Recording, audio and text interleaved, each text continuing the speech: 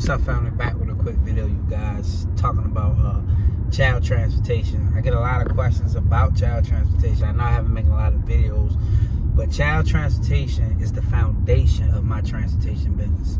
That's what I started doing. And I added ambulatory on top of that. And now we're adding a wheelchair on top of that. And then later on, maybe next year, I'm gonna invest into a stretcher vehicle. So I started like that. So that was my foundation. Child transportation is totally different from NEMT transportation. As far as how you go about building it, it takes a lot more time and it's not as much money. You have to invest more into child transportation to make more out of it. Uh, another thing, some state check with your state here in North Carolina, you can work with the county with uh, kids with disability. I looked into that. A buddy of mine, a friend of mine, had a contract with the schools in, uh, I think it was Johnston County. Me personally, it didn't seem like it was enough money for me uh, to be able to pay a driver, to handle the overhead, and uh, and still make some money. It just wasn't enough there for me, so I couldn't do it.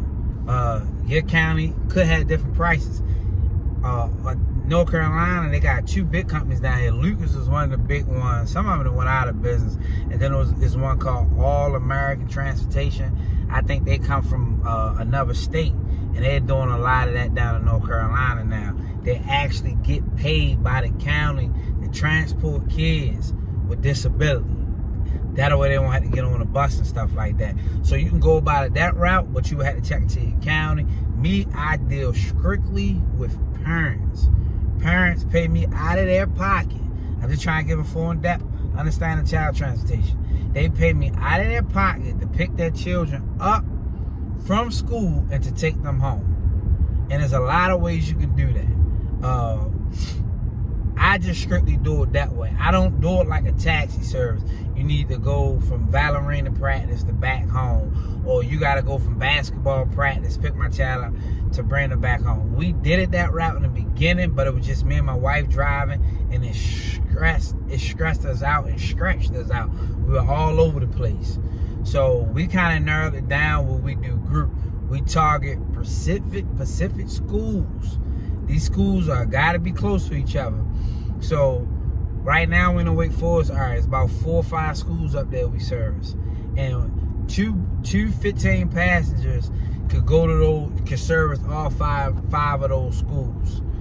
Uh, we got a lot of kids going to Boys and Girls Club, so we might have that bus that one person pick up eight, drop off four at the Boys and Girls Club, go back to the school, pick up the second ones at 315, then take everybody home. This year, the person is going to have to go to one school, go to the Boys and Girls Club, go to the second school, pick up the kids, go back to the school to get the 330 kids, pick them up, then take another drop to the Boys and Girls Club, then drop the other seven home. So it, it saves us deadhead miles because we picking up from those those same schools. That's why I like the evening better. Um, and then we just take the people home. And that's how it usually works out for us.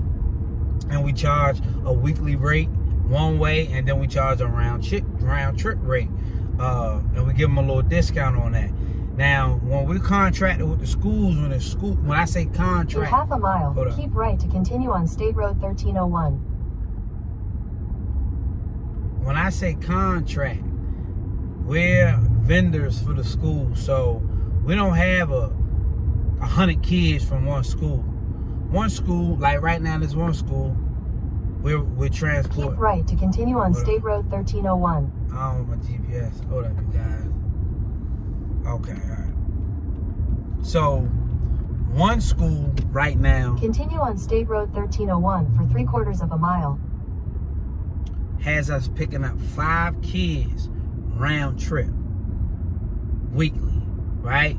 So we picking these five kids up from one place, take them to the school, pick them up in the evening. They're gonna be on a bus with all the other kids in the evening, and they're gonna get dropped off in the evening. And uh, so a lot of the schools we deal with, with the charter schools, some schools may only have you with three kids that they pay for, and then the rest of them, the parents gonna pay out of pocket. But this school right here, we always we usually always transport at least five. So I'm thinking this year we probably gonna have eight with them if the three come back from last year. And uh, so when I say contracted with a school, we're just a vendor for the school. So whenever they had kids that got uh, parents that can't pay for them to, to get to school, they reach out to us. Can y'all put them on y'all bus route? Or can y'all put them on y'all schedule? And if we can do it, we can do In it. 1,000 feet, turn right onto Little Drive. If we can do it, we can do it. We can't, we can't. Sometimes we can do it, sometimes we can't do it. So we don't have like big contracts for schools. I know sometimes when we say contract, sometimes uh, we could think of it as something super big. But no, we might get five out of one school, three out of one, three out of one. And it is like a contract agreement, some type of agreement. It's not really a contract. You just that you just putting them on your insurance. You add them to your uh your general liability policy just in case something happened to one of the children. And that's pretty much it, you guys. Uh, but I hope that can uh, help somebody. I'm gonna make a part two to this. I'm looking for this address. I'm down here. I'm down here working. I need to find this address. But I'll make another video on my way back up.